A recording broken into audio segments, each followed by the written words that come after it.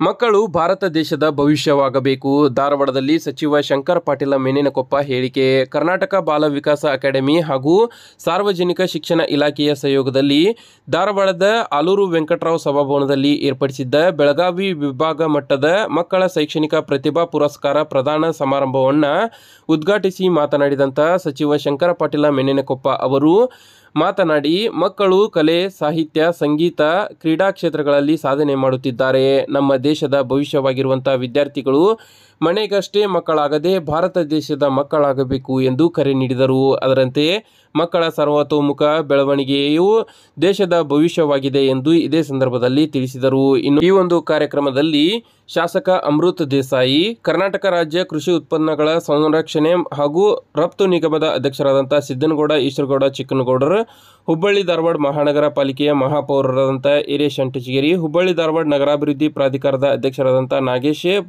ಕಲಬುರ್ಗಿ, ಮಹಾನಗರ ಪಾಲಿಕೆಯ ಸದಸ್ಯರಾದಂಥ ಸುರೇಶ್ ಬೇದ್ರೆ ಸೇರಿದಂತೆ ಅನೇಕರು ಭಾಗವಹಿಸಿದ್ದರು.